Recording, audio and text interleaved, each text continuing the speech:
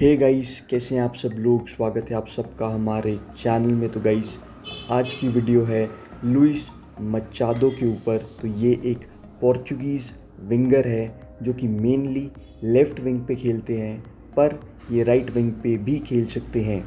तो गाइस इन्हें लिंक किया जा रहा है नॉर्थ ईस्ट यूनाइटेड एफसी के साथ। और probability of transfer as per transfer market बहुत ज़्यादा हाई है, लगभग 62 टू 65 परसेंट है।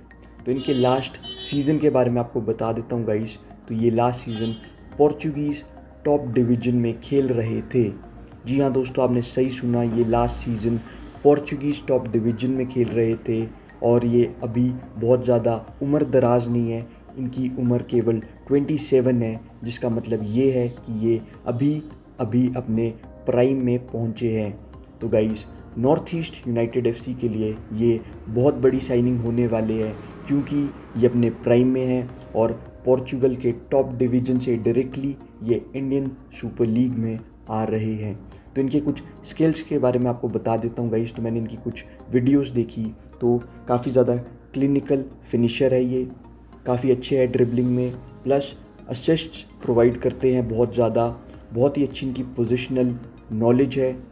या मैं कहूँ बहुत ही अच्छी पोजिशनल सेंस है इनकी मैच के दौरान। और बहुत ही सबलाइम क्रॉसर है, यानी कि बहुत ही ज़्यादा एलिगेंटली क्रॉस करते हैं बॉल्स को। तो नॉर्थ ईस्ट यूनाइटेड एफसी का जो भी स्ट्राइकर होगा नेक्स्ट सीज़न उसके लिए बहुत सारे असिस्ट देंगे लुइस मचादो तो गाइस ओवरऑल बहुत ही शानदार प्लेयर है।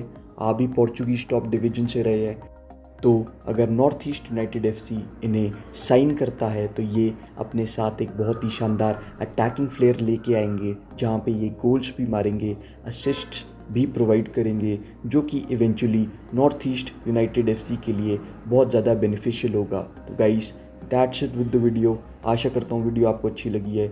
लगी है तो वीडियो को लाइक कीजिए, चैनल को सब्सक्राइब कीजिए और बेल आइकन को दबाना कतई भी मत भूलिए। So thank you for watching the video good bye peace out